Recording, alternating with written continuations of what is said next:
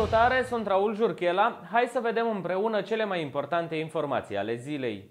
Astăzi vezi imagini din interiorul molului din Calea Șagului. A fost deschis în această dimineață. Afli apoi cum decurge ancheta polițiștilor în cazul tinerei violate ieri în Parcul Botanic. La final afli că polițiștii timișeni au descins în mai multe locații, printre care și sediul DSV Timiș. Shopping City Timișoara și-a deschis porțile. A fost agitație mare în această dimineață în Calea Șagului. Sute de timișoreni au trecut pragul noului mall pentru a vedea investiția de peste 80 de milioane de euro.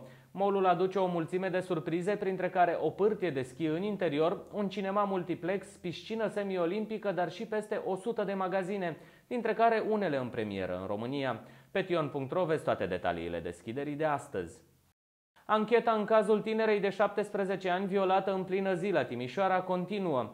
Fata a fost stabilizată de medici, iar acum anchetatorii vor sta de vorbă cu ea. Oamenii legii se consultă cu medicii și, după ce vor discuta cu victima, vor stabili dacă a fost vorba sau nu despre un viol. Doctorii susțin că leziunile suferite de tânără corespund cu cele ale unei agresiuni sexuale, iar acum îi oferă consiliere psihologică. Între timp, polițiștii fac verificări în baza de date pentru a vedea dacă unul dintre cei sancționați până acum pentru manifestări obscene în zona parcului ar putea fi considerat suspect.